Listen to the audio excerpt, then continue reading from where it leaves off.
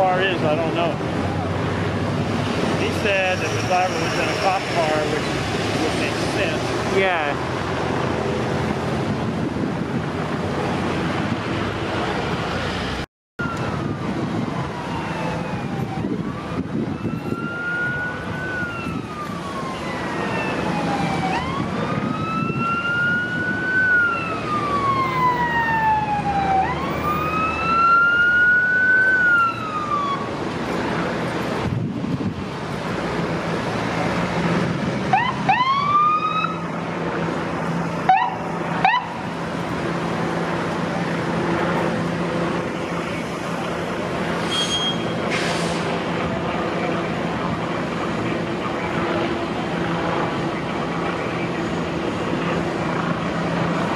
What's up everybody? Lucas here.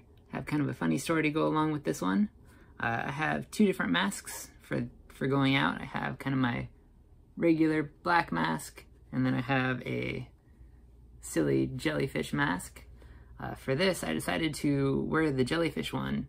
I knew I would be filming cops, and things have been kind of tense in Seattle recently, so I wanted to make sure that I looked uh, non-threatening.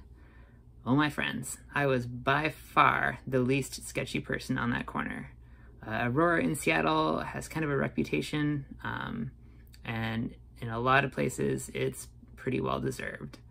Um, there was uh, there was an old guy that had binoculars and a scanner that was not too sketchy, but overall, uh, I don't think I had anything to worry about.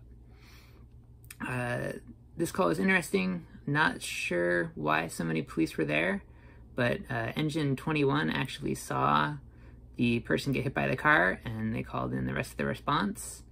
One of the people on the scene said that the driver might have come out with a firearm, but when I went back through the radio traffic on an archive online, I couldn't find anything about that, just uh, an officer requesting a fast backup because the driver was not being compliant. Um, haven't heard any any follow-up, so I don't know the condition of the person that got hit or what ended up happening with the driver. Uh, if I get any more information, I'll uh, throw an update here in the comments or in the description. Uh, as always, thank you for watching, and I hope that y'all enjoyed.